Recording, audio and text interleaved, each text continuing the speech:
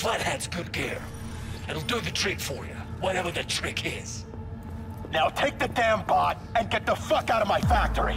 And you can tell Dex to suck my shiny chrome cock.